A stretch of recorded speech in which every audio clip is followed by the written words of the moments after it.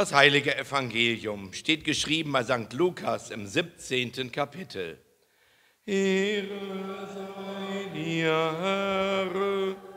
Die Masken können nun abgenommen werden.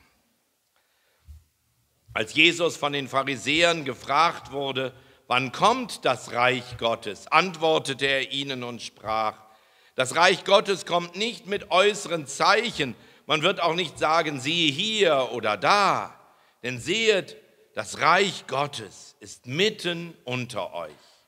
Er sprach aber zu den Jüngern, es wird die Zeit kommen, in der ihr begehren werdet zu sehen einen der Tage des Menschensohns und werdet ihn nicht sehen. Und sie werden zu euch sagen, siehe da oder siehe hier, geht nicht hin und lauft nicht hinterher.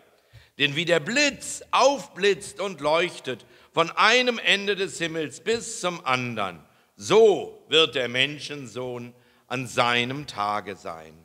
Zuvor aber muss er viel leiden und verworfen werden von diesem Geschlecht. Und wie es geschah in den Tagen Noahs, so wird es auch sein in den Tagen des Menschensohns. Sie aßen, sie tranken, sie heiraten, sie ließen sich heiraten, bis zu dem Tag, an dem Noah in die Arche ging und die Sintflut kam und brachte sie alle um. Ebenso wie es geschah in den Tagen Lots. Sie aßen, sie tranken, sie kauften, sie verkauften, sie pflanzten, sie bauten. An dem Tage aber, als Lot aus Sodom ging, da regnete es Feuer und Schwefel vom Himmel und brachte sie alle um. Auf diese Weise wird es auch gehen an dem Tage, wenn der Menschensohn wird offenbar werden. Gelobt seist du, Herr Jesu. Lob sei dir, o Christe.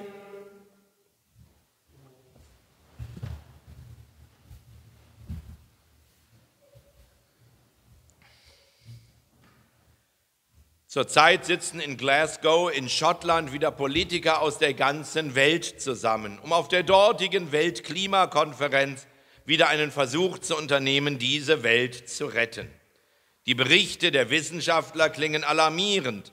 Das Leben auf dieser Erde könnte sich in den nächsten Jahrzehnten drastisch verändern, wenn nicht sehr schnell energische Gegenmaßnahmen ergriffen werden.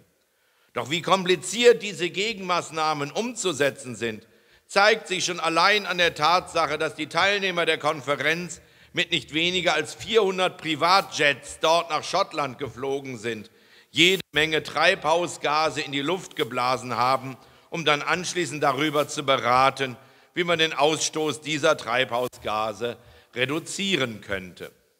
Die Erderwärmung begrenzen, den Klimawandel bekämpfen, das sind hehre Ziele, gegen die eigentlich keiner etwas haben kann. Kein Wunder, dass sich dann auch schnell Kirchenvertreter diesen Forderungen anschließen und sich auch gerne an die Spitze der gesellschaftlichen Bewegung zur Rettung dieser Welt stellen. Und so marschierte gerade neulich die Leitung der evangelischen Kirche in Deutschland geschlossen bei einer Fridays for Future Demonstration mit. Denn selbstverständlich ist die Kirche immer auf der Seite der Guten. Nun ist es natürlich eine Aufgabe von uns Christen, darauf aufmerksam zu machen, dass uns Gott die Erde zu einem sorgsamen Umgang anvertraut hat und dass wir vor allem auch eine Verantwortung für nachfolgende Generationen haben. Doch zugleich sollten wir als Kirche und als Christen nicht vergessen, dass wir nur aufgrund unseres Glaubens eben nicht klüger sind als andere, die versuchen, Auswege aus dem Dilemma zu finden, in dem wir in dieser Welt stecken. Vor allem aber sollten wir nicht vergessen, dass wir als Kirche noch einmal eine ganz andere Aufgabe haben, als bloß die, die Ängste der Menschen vor der Zukunft zu verstärken. Genau das zeigt uns das heilige Evangelium dieses drittletzten Sonntags des Kirchenjahrs. In ihm stellt uns Jesus Christus auf der einen Seite Menschen vor Augen, die meinen, genau ausrechnen zu können, was in der Zukunft geschehen wird und daran am Ende doch scheitern. Und er kündigt zugleich eine Zeit an, in der Menschen sich voller Angst danach sehnen werden, diesem Leben, das sie jetzt erfahren müssen, entkommen zu können. Aber dann spricht er eben auf der anderen Seite vom Kommen des Menschensohns, von seiner Wiederkunft, die einmal den alles entscheidenden Unterschied machen wird.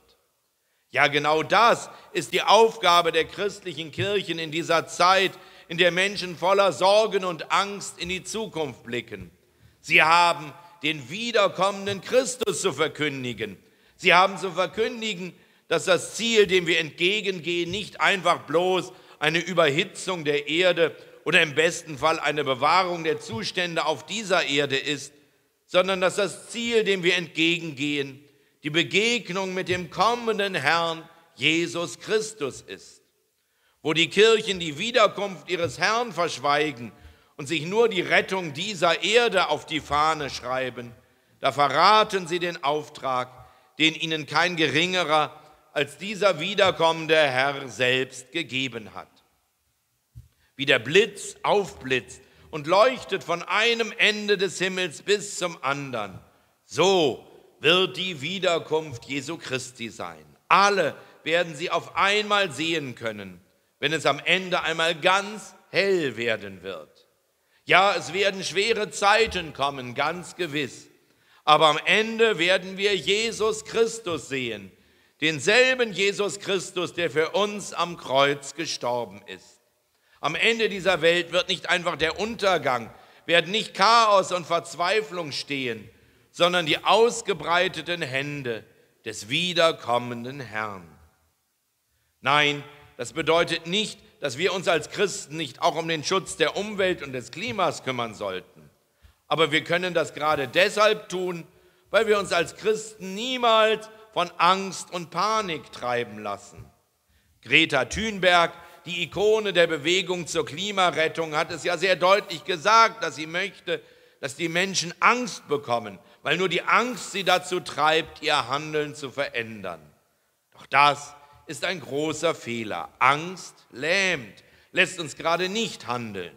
Hoffnung motiviert, Hoffnung befreit. Wenn ich weiß, am Ende dieser Welt steht der kommende Jesus Christus, dann muss ich nicht mehr aus Angst handeln. Dann kann ich ganz ruhig und getrost die Aufgaben anpacken, die hier und jetzt zu tun sind.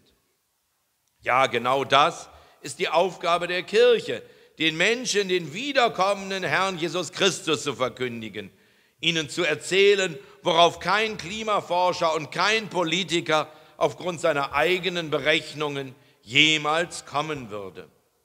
Dazu gehört dann allerdings auch die Wahrheit, dass die Kirche den Menschen zu verkündigen hat, dass wir gut daran tun, uns sehr bald auf dieses Kommen vorzubereiten, weil wir nicht wissen können, wie viel Zeit uns noch bleibt. Ja, er, Jesus Christus, wird gerade dann wiederkommen, wenn die Menschen mit ihm gerade nicht rechnen, wenn sie ihn aus ihrem Denken ganz und gar ausgeklammert haben. Er, Jesus Christus, wird gerade dann wiederkommen, wenn Menschen mit allem Möglichen in ihrem Leben beschäftigt sind, mit ihrem Privatleben, mit ihrer Arbeit, mit ihrem Konsum, aber nicht damit bereit zu sein für den Tag, an dem Jesus Christus aufleuchten wird wie der Blitz, für den Tag, an dem tatsächlich dann einmal die letzte Entscheidung über unser Leben fallen wird. Ob Jesus Christus tatsächlich zu unserer Rettung kommt oder ob Menschen angesichts der Begegnung mit ihm erkennen, dass sie ihr Leben total verpennt und verfehlt haben.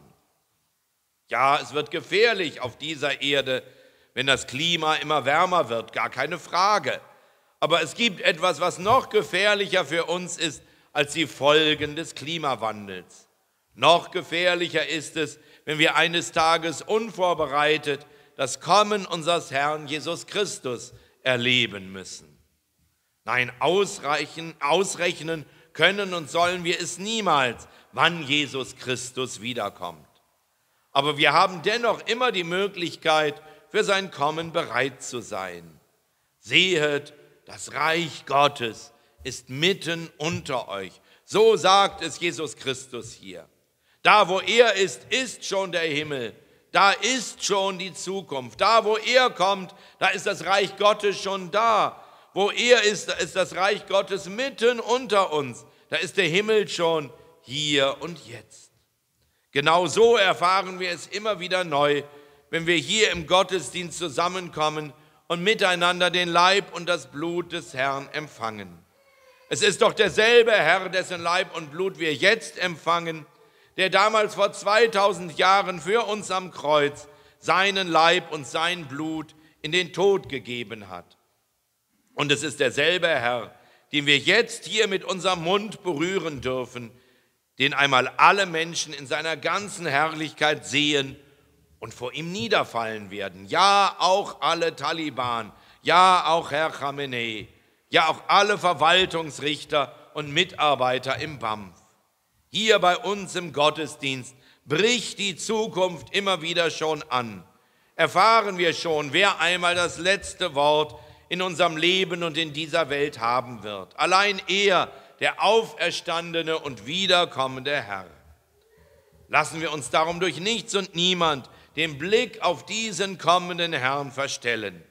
Nicht dadurch, dass wir glauben, wir hätten so viele Dinge in unserem Alltag zu tun, dass wir keine Zeit für die Begegnung mit ihm haben.